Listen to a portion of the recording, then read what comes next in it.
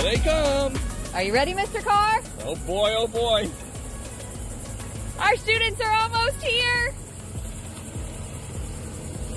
They're back. It's an exciting first day back at the one of a kind Environmental Studies Center. Welcome to the Environmental Studies Center.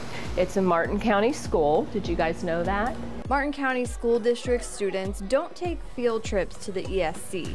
They go on field experiences. At the end of today, I want you to understand how important mangroves are.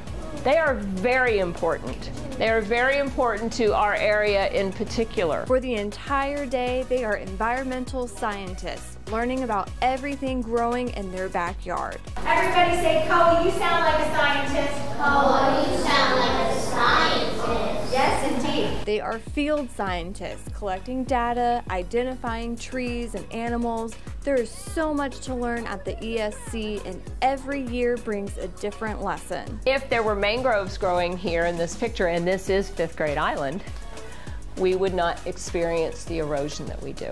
Okay, so that's that's next year. Very exciting stuff. What's also very exciting, the newly renovated wet lab thanks to Impact 100 Martin. These Jensen Beach Elementary students were the very first to explore the upgrades, including an air-conditioned room. We can't wait to see it fully completed. We know the students will love it. What a great first day back at the Environmental Study Center.